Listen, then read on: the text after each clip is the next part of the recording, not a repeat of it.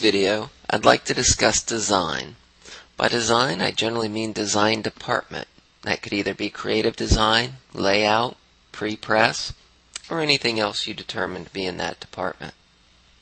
So if we're looking at a estimate within control, the first thing it wants to know is is the artwork on file.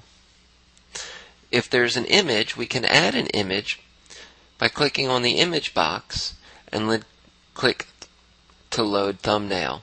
What this does allows you to load a thumbnail from your PC that is then saved within Cyrious.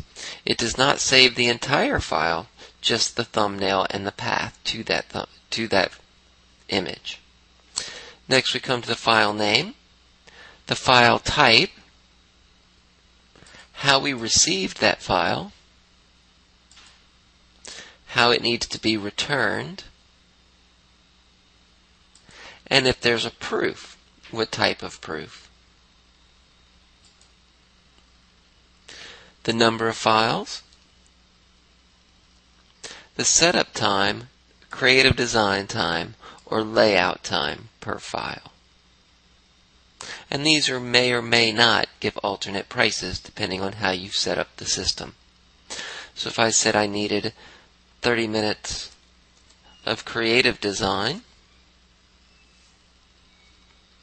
It then knows I have two images at 30 minutes for one hour, and my billing rate is at $100 an hour. After that, we have the user add-ons. Again, these are the modifying questions that can be entered and added to any product.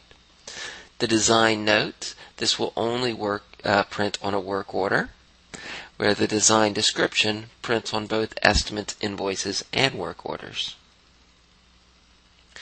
This concludes our overview of the design product and Control.